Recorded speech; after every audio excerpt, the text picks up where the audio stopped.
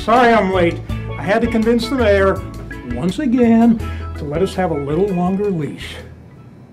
What the hell is going on here? The chief is interesting because of the fact that even though he's the head of Dragnet, he still doesn't know what's going on with the different agents, and he just he he has a very loose grasp on his agents. What the hell is going on here? We all know what we're doing, but the chief doesn't really know what's going on, so he's trying to make everything work, and he has no idea what the individual pieces are doing within the organization.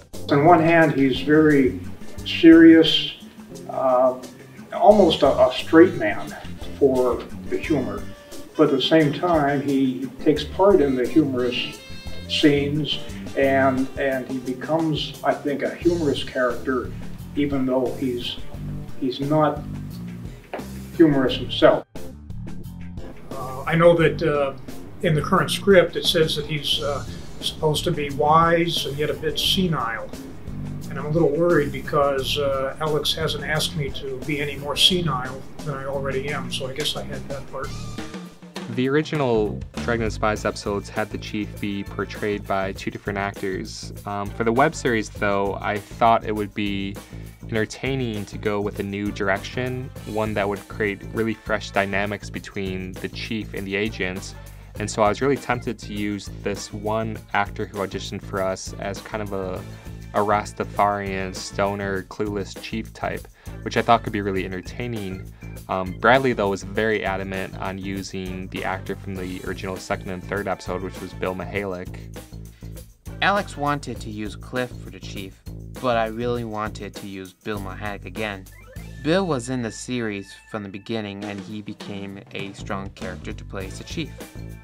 Bradley, though, eventually convinced me that using Bill for the web series was the way to go, and he was absolutely correct. I'm really glad we went with Bill. But my strategy for the Chief portrayal in this series and for Bill was to put him in as many ridiculous, over the top situations as I could.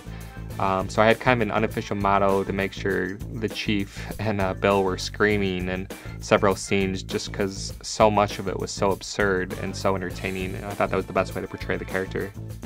So I've been sucking on Jolly Ranchers all day because with the screaming last night, I just about woke up without a voice. And then I screamed again this morning through five or six takes. And I'm just worried that at some point during the day, the voice is going to give out. So we're, we're sucking on candies like mad. All Reds are members of the Communist Party! All Reds must be captured! Bill was great to work with. He's super funny, super sweet. I, I honestly I don't see anyone else being a chief. He did a great job.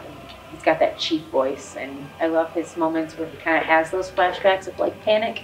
So it's um, he did a good job.